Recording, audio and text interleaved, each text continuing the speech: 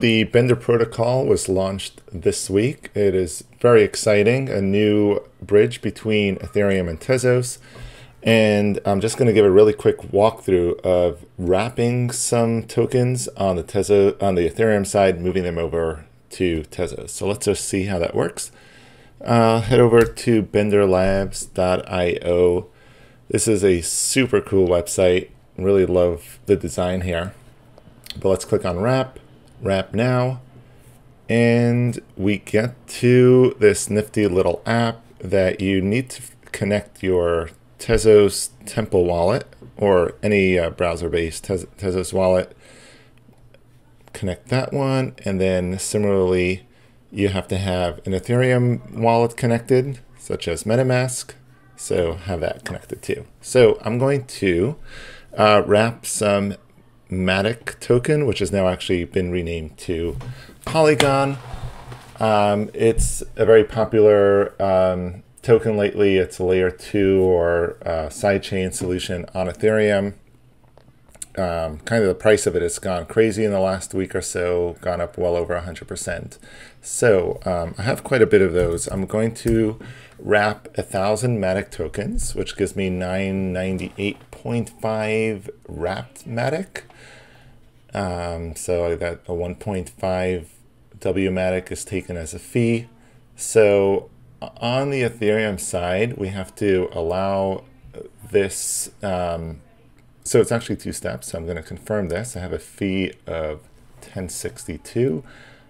Maybe I can even, oh, interesting. Even if I lower the, their slow fees are still even more than that. So anyway, I'm confirming this. Um, so you can see there are two parts to this. So whenever you're interacting with some kind of app that needs to then control your coins on Ethereum, you first have to call the contract that is kind of the owner of those um, or manages those tokens. Specifically in this case, it's a call to the Matic um, contract. So if I were to actually look at my address, uh, if I go to view on Etherscan. So right here, it's a pending transaction. Should take about a minute, which is the block time. Um, I'm sorry, it should take really like 15 seconds. So, which is the block time in Ethereum, but it is going a bit slower. It's not getting included right away. But you can see it's a call to the Matic token contract. Uh, that should go any moment now. Uh, but the second step uh, would be a call to a contract on the Ethereum blockchain again, but this one would be one that is controlled by the wrap protocol. So a Bender Labs smart contract, which will then um, do some stuff with our tokens, um, but we had given them permission to do something with them in this allow function. Now the allowed um, operation went through. So now we can hit the wrap one, which is now another uh, transaction on Ethereum. This one will cost us $18, hitting confirm on that one. Um, and as I mentioned before, that one is actually a call to the wrap contract, which will then move those tokens to itself and then do some other stuff, which will ultimately uh, trigger an event, which will then issue a comparable number of uh, Matic tokens on the Tezos side.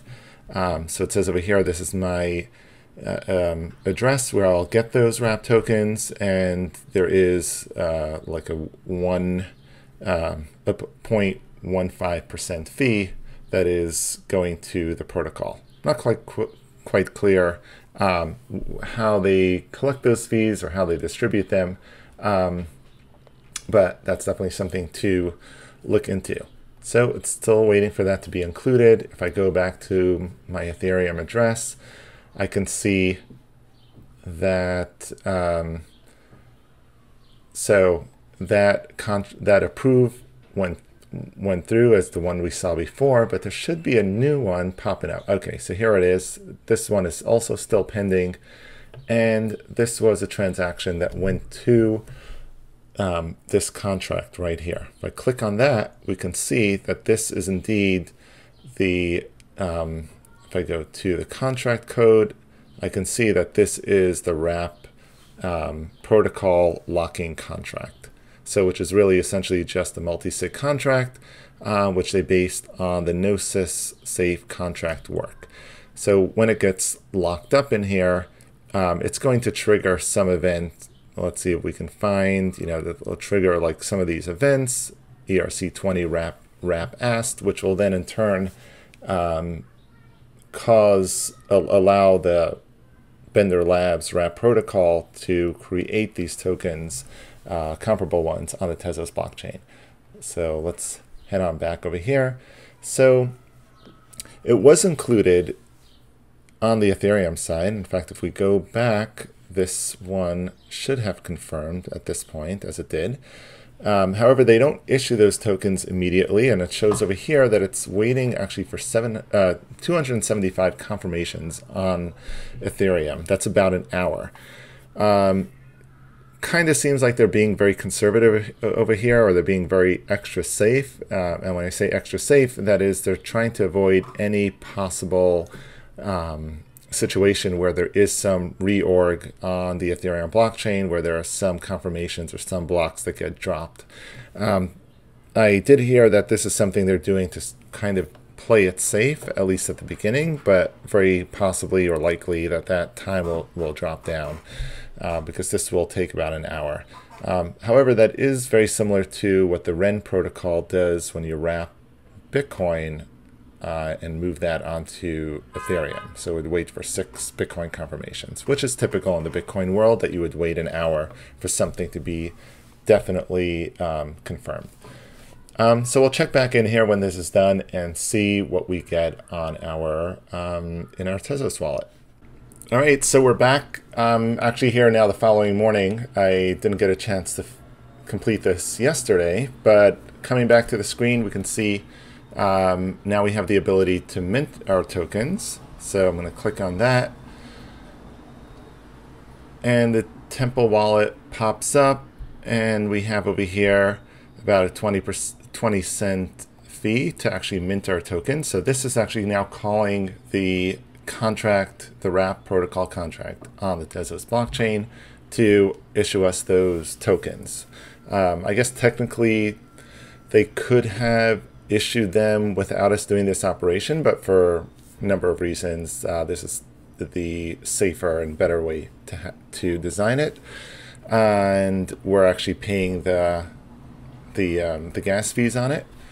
So if I even open up Temple Wallet and I go to activity, I have this pending transaction, which should, should take about a minute or two.